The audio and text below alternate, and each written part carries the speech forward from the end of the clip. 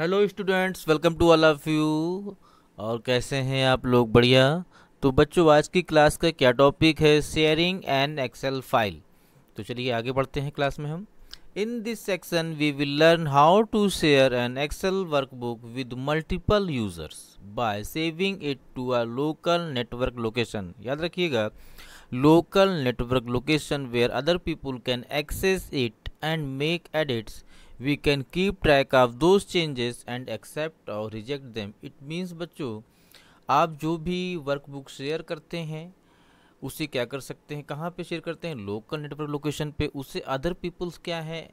At a same time access भी कर सकते हैं और उसमें कुछ चेंजेस भी कर सकते हैं। लेकिन आप उनके चेंजेस पे नज़र भी रख सकते हैं और अगर आपकी रिक्वायरमेंट हो तो आप उसे एक्सेप्ट भी कर सकते हैं और उसे रिजेक्ट भी कर सकते हैं। क्लियर है? और बच्चों, इसमें एक टॉपिक और है कि आप जो वर्कबुक शेयर किए हैं, आप उसको प्रोटेक्ट भी कर सकते हैं। और कैसे कर सकते हैं प्रोटेक्ट ये हम पढ़ेंगे कल की क्लास में। आज की की क्लास में देखते हैं कैसे वर्कबुक को शेयर करना है आपको। तो ये बच्चों, क्या है आपके सामने? आपकी मोबाइल स्क्रीन पे ये है एम एस एक्सएल टू तो चलिए शेयर करते हैं वर्कबुक को। देखिए बच्चों, सबसे पहला स्टेप क्या होगा यहाँ पे? आपके सामने जो ऊपर है file tab home tab insert page layout formulas data review view and developer tab यहाँ पे आप देख रहे हैं, आपको सबसे पहला स्टेप क्या होगा? आपको जाना है किसमें रिव्यू टैब में। ये रिव्यू टैब पे आपने क्लिक किया। कौन से ग्रुप में आना है? प्रूविंग लैंग्वेज कमेंट्स आपको आना है चेंजेस ग्रुप में।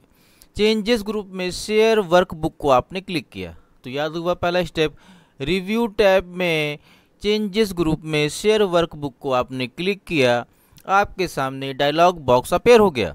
एडिटिंग में आप हैं, अब देखिए यहाँ पे चेक बॉक्स आपको दिख रहा होगा, यहाँ आपको क्लिक करना है। ये क्या करेगा? Allow changes by more than one user at the same time this allow workbook merging अब यहाँ पे देख रहे हैं एडवांस का भी ऑप्शन है, इसमें भी अपनी रिक्वायरमेंट के अनुसार आप चेंजेस कर सकते हैं। पहला क्या है? Keep changes history for thirty days आप इसको बढ़ा सकते हैं, घटा सकते हैं हिस्ट्री ठीक है? आप डिलीट करना चाहते हैं, उसमें कुछ चेंज करना चाहते हैं। Update changes when file is saved कब चाहते हैं? फिफ्टीन मिनट में चाहते हैं या नहीं चाहते हैं या ऑटोमेटिकली चाहते हैं? जो भी चाहते हैं आप, अपनी रिक्वायरमेंट के अनुसार उसमें कुछ चेंजेस कर सकते हैं, ठीक है? अब फिर क्या करने के बाद हम, ओके के हमने क्लिक कर दिया। अब यहाँ पे आप अपनी वर्कबुक का नाम दे दीजिए कोई जो आप शेयर कर रहे हैं। हमने नाम दे दिया इसको। वर्कबुक आईटी हमने नाम दिया वर्कबुक आईटी और हमने सेव किया।